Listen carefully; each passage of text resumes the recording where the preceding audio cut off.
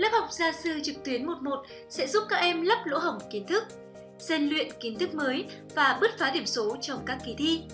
Các em sẽ không còn ngần ngại khi hỏi những điều còn thắc mắc cùng với gia sư giỏi và tận tâm. Đội ngũ gia sư được lựa chọn và kiểm tra kỹ lưỡng từ các trường đại học top đầu cả nước, giúp các em xây dựng lộ trình học riêng phù hợp với năng lực và bám sát chương trình trên lớp. Thêm vào đó, chương trình học gia sư trực tuyến, các em sẽ có trợ lý học tập, hỗ trợ trong quá trình học khi gặp sự cố. Theo dõi tiến độ học tập và nhận phản hồi, điều chỉnh việc dạy và học giữa thầy và trò. Với chương trình này, các em có thể cùng với gia sư ôn luyện bài trên lớp từ lớp 3 đến lớp 12 với tất cả các môn học theo chương trình giáo dục phổ thông hiện hành. Lấy sự hài lòng của học sinh lên hàng đầu, các em có thể đổi gia sư nếu thấy không phù hợp.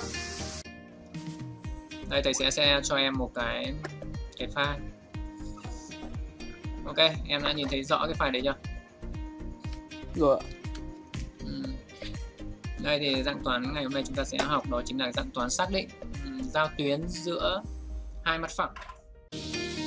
Một lớp học gia sư trực tuyến sẽ như thế nào nhỉ? Các em cần tải và cài đặt ứng dụng học tập vào máy tính, điện thoại hoặc máy tính bảng. Hỗ trợ lớp học giúp các em kiểm tra loa, mic trước khi buổi học diễn ra. Đúng giờ, giáo viên sẽ bắt đầu bài học. Trong quá trình giảng bài, thầy cô chia sẻ bài giảng qua màn hình để các em có thể học bài hiệu quả hơn. Các em có thể trao đổi trực tiếp với thầy cô qua mic, nhìn thấy thầy cô qua video, sử dụng công chat và các tính năng hỗ trợ lớp học khác.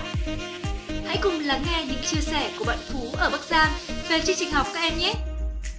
Xin chào các bạn, mình tên là Phú. Mình xin chia sẻ với các bạn vài điều. Năm học vừa qua mình có tham gia lớp học trực tuyến môn toán lớp 9 của thầy Lê Thiệu. Mình nhận thấy lớp học rất bổ ích. Thầy đã giúp cho mình ôn tập củng cố và nâng cao kiến thức rất nhiều. Với chi phí tiết kiệm và hiệu quả vượt trội, còn chân chờ gì nữa mà không đăng ký ngay. Chúc các em học tập tốt!